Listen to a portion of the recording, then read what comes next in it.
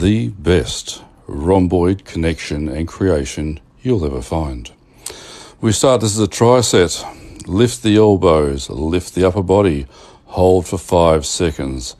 Work hard, fingers are interlaced behind the head.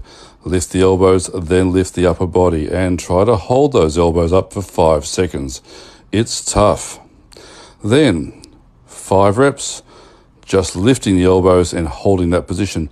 Basically, you will have fatigued from the first set, so now we're into the second five repetitions. You are not lifting the chest now. Five with the chest lifted, five with the head, forehead on the ground.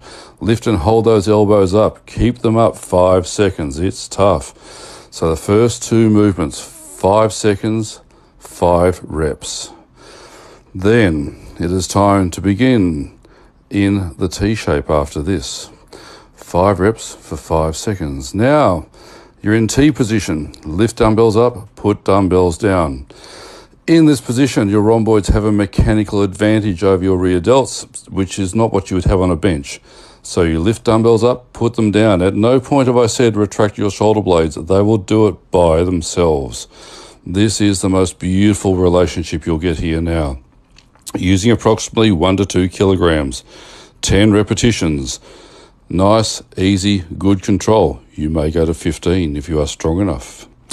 So, this is a perfect triset for creating a fantastic relationship with your rhomboids.